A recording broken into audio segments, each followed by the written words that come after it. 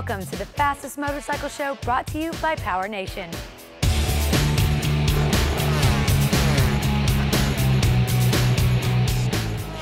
If you're looking to enhance the feel, control, and safety of your motorcycle, then you'll want to start with the front brakes. John Boucher is going to show you four easy performance upgrades for your front brakes. Then we'll conduct a 40 mile an hour road test to see how our investment of time, money, and effort pays off.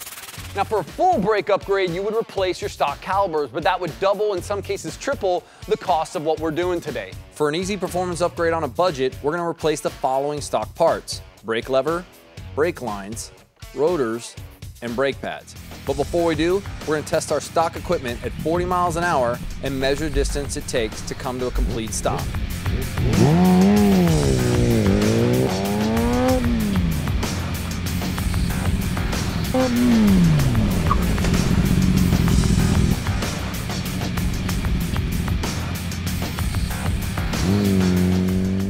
Had Brian do three runs and we took the average distance, which was 62.3 feet. Now we're gonna install our four upgrades and average three more runs and see what type improvements were made.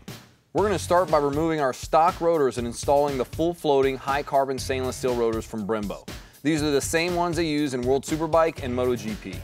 First, we remove our two caliper bolts and calipers on each side. Then we loosen the pinch bolts on the throttle side of the motorcycle. For the ZX10, we'll use a Motion Pro axle tool to remove the front axle and a 6mm hex to remove the bolts.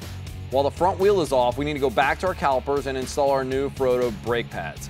Remove the two screws to the top of your calipers, the old pads come out and your new Ferodo pads slide right in. Reinstall the top bolts and we can go back to working on our front wheel.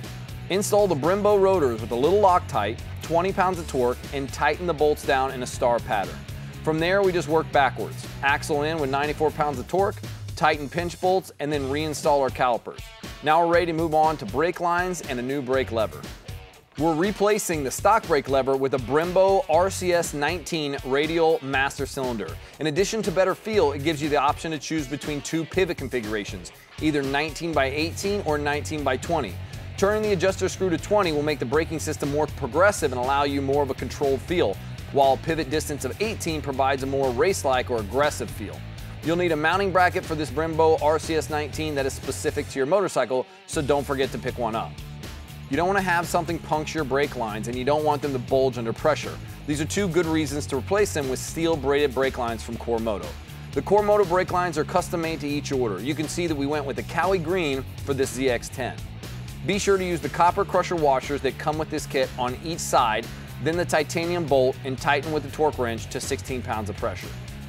All right, now we've installed our four upgrades. All we have to do is bleed the brakes, let Brian get a feel for the new setup, and we're ready for part two of our road test. Here's a quick recap of this front brake performance upgrade package along with the cost of each item. We installed a Brembo RCS 19 master cylinder for $365. Core Moto steel braided brake lines at $115. Brembo rotors were 660 for the set, and the Ferodo brake pads were $62. In total, we spent about $1,200 in two hours. So now that we've invested the money and time, let's see what type of gains we get on a road test. After three runs where Brian stopped at 58, 38, and 36, we have a 44-foot average. Compared to our stock run of 62.3 feet, this front brake performance upgrade has increased our braking power by 30% and it's given us more feel on the front end, which will allow us to correct little mistakes before they become big ones. Remember, you want to get the most out of your motorcycle, so upgrade your front brakes today and enjoy faster, safer riding. We have more two-wheeled action coming your way, so be sure to subscribe to Power Nation on YouTube and tune in this weekend for more Power Nation on TV. Saturday at 8 a.m. on CBS Sports, followed by Sunday at 9 on Spike for all the Power Nation you can handle.